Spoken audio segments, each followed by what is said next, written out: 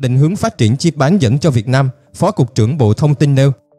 Thưa quý vị, mới đây, ông Nguyễn Thiện Nghĩa, Phó Cục trưởng Công nghiệp ICT, Bộ Thông tin và Truyền thông, đồng thời là người tham gia và xây dựng dự thảo chiến lược phát triển công nghiệp bán dẫn, cho rằng Việt Nam có thể đi theo hướng làm chip chuyên biệt thay vì chạy đua theo những dòng chip cao cấp và tiên tiến nhất của thế giới.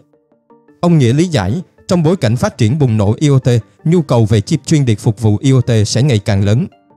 Ngoài ra, đại diện Cục Công nghiệp ICT cho biết theo chiến lược ngành bán dẫn dự kiến, Việt Nam sẽ phát triển song hành, tức là vừa thu hút doanh nghiệp FDI, vừa nâng cao năng lực trong nước. Ông Nghĩa nói, chúng ta chưa nhất thiết phải có sản phẩm ngay mà có thể đồng hành, tham gia hệ sinh thái của các công ty lớn, đồng thời tập trung vào phân khúc tầm thấp và tầm trung, nơi chúng ta có lợi thế cạnh tranh tốt nhất về giá.